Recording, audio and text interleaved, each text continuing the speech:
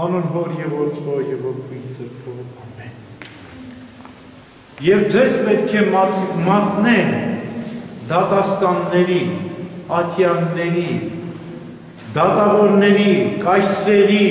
թակավորների ու բռնակալների արջև պետք է կանգնեք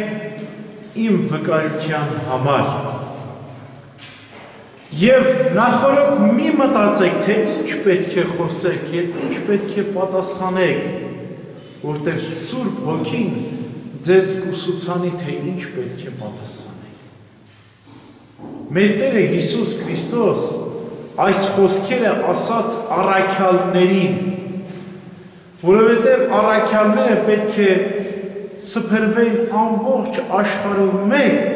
եւ սկսեին ավետարանը քարոզել Բայց որքան որ բարի լուրը փոխանցում էին մարդկանց, որքան բարիք էին գործում մարդկանց առաքյալները, այնքան հակառակություն էին տեսնում, այնքան չարիք էին տեսնում։ Բայց ամեն դեպքում շարունակում էին բարիք գործել, որտեղ բարին չի կարող հրաժարվել բարիք գործելով։ Եվ չարն էլ չի կարող չարիք գործելուց հրաժարվել։ Առաքյալները բարիք էին անում մարդկանց, իսկ հակառակը տեսնում էին հեթանոսներից, հрьяաներից չարիք։ Ինչպիսի չարիք։ Ատյանների արջև էին կանգնեցնում, տանջում էին, չարչարում էին, հալածում էին, բայց այդ տանջանքների, նեղությունների ու չարչարանքների մեջ առաքյալներ ուրախ են Եթե այսօրվա մարդուն հարցնես, ասես հալածանքը, նեղությունը, չարչարանքը բարի բան է թե ոչ, միանշանակ կասի, որ ոչ։ Ոչ ոք չի ուզում հալածանք, նեղություն կրել։ Բոլորը ուզում են փառք ու պատիվ ստանալ, բոլորն ուզում են ծափահարություններ տեսնել, գովասանքներ լսել։ Ոչ ոք չի ուզում հանուն ճշմարտության նեղություններ կրել Բայց մեր Տերը գաղտնիք հայտնեց մեզ,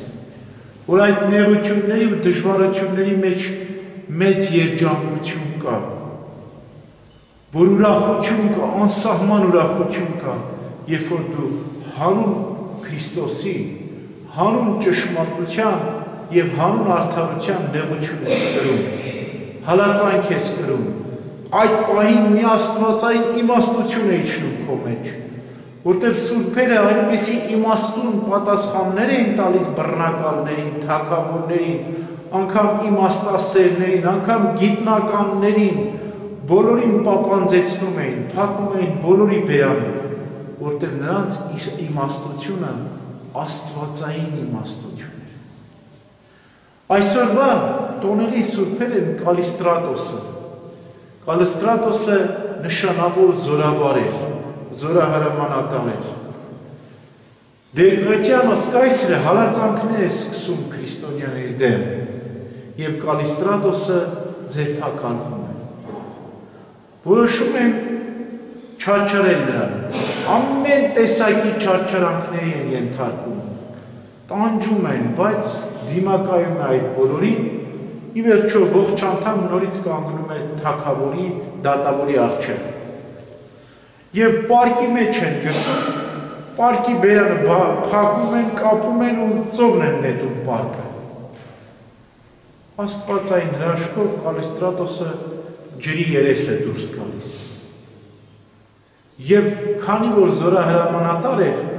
զինվորներ ուներ, 50 հոգուց էր բաղկացած ինքը եւ 49 զինվորները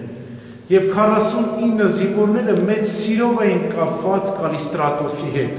իրենց զորահրամանատարի հետ, բայց դեռևս հեթանոս էին, քրիստոնյա չեն։ Եվ երբ տեսնում են այս մեծ հրաշքը, թե ինչպես դուրս եկավ ջրից ողջ անդամ, թե ինչպես այդպիսի ծանր չարչարանքներին դիմակայեց, ինքը իրենք էլ են խոստովանում, դավանում, որ քրիստոնյա են։ Ի վերջո այս 49 զինվորներին ջուրն են գցում, որ խեղդվեն։ Բայց կրկին նոր հրաշք է լինում։ Որևէ մեկը չի վնասում, բոլորն էլ ծովից դուրս են գալիս։ ի վերջո որոշում են բոլորին նահատակել։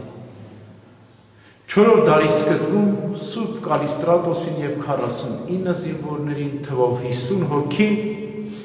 գլխատում են հանուն Քրիստոսի եւ սրանք էլ մեծ երանության են արժանում աստվածային ուրախության ու փառքի են արժանում ոչ թե այս կյանքում այլ հանդերձյալ կյանքում այս կյանքում նախատինքներ են կրում նեղություններ են կրում իսկ հանդերձյալ կյանքում մեծ ուրախության են արժանում նույնպես ապրեց նաև Ղունկյանոս քահանա մի քիչ ավելի ուշ է նահատակվել 312 թվականին ոչ թե Դիեգրատիանոս, այլ Մաքսիմինոս կայսեր հալածանքների օրոք։ Անտիոքյան դպրոցի հիմնադիր է համանում Ղունկյանոս քահանան, որովհետև Սուրբ Գիրքը թարգմանել է հունարեն։ Ավելի ճիշտ բնագիրն է կարծում այդ հունարեն թարգմանության 70-ից բնագիր է 6 իջյան 6 սյունակներով Սուրբ Գիրքը եւ այսօրվա հունարեն բնագիրը կարծես մեծ այս աշխատանքի արդյունքում է պահպանվել Ղունկյանոս քահանայի չարչարանքի շնորհիվ։ Այս մասին մի փոքրիկ պատմություն ձեզ ներկայացնեմ որ հետաքրքիր առակ պատմություն է երջանկության մասին։ Մի թակավոր է լինում, որ հիվանդանում է Եվ նրա իմաստասեր փիլիսոփաներից մեկը իմաստուն մի մարդ ասում է թակավորն ապրած կենա։ Եթե դու գտնես մի երջանիկ մարդ եւ նրա շապիկը հակնես, բայց այդ մարդը կատարյալ երջանիկ պետք է լինի։ Անմիջապես կբուժվես։ Թակավորը հավատում է այս փիլիսոփային այս իմաստուն մարդին, որ քրիստոնյա չէ, ուղղակի իմաստասեր է։ Ամենուրեք իր նախարարներին, իր ծառաներին ուղարկում է իր թակավորության մեջ ամենաերջանիկ մարդուն գտնելու։ Շատ են ման գալիս։ Առաջինը գնում են հարուստների մոտ, որտեղ մտածում են, որ հարուստներն ամեն ինչ ունեն, երջանիկ կլինեն։ Հանդիպում են հարուստների, որ ունեն մեծ ունեցվածք, բայց հիվանդ են, ասում են մենք երջանիկ չենք։ Հանդիպում են հարուստների, որոնք թե հարստություն եւ թե առողջություն ունեն, բայց հաջող ամուսնություն չեն ունեցել, վատ զավակներ ունեն, վատ կին ունեն։ Ասում են լավ, գնանք աղքատների մոտ։ Աղքատների մոտ են գտնում, գնում են, ասում են մենք առողջ ենք, բայց շատ բաների կարիք ունենք, երջանիկ չենք։ Եվ այդպես ամբողջ թակավորությունը պտտվում են ու երջանիկ մարդու չեն գտնում։ Կատարյալ երջանիկ մարդու չեն գտնում։ Գալիս են թակավորի մոտ կորագլուխ, ասում են չգտանք թակավորն ապրած կենը։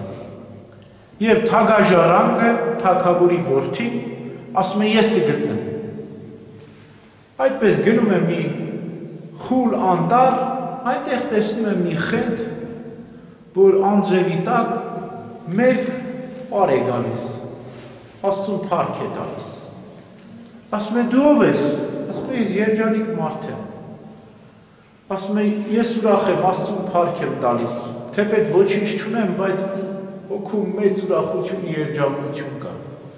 Ասում է բա քո շապիկն ուրա, ինչու ես մեկ պար գալիս, ասում է ես շապիկ էլ չունեմ։ Շոր էլ չունեմ, ասում է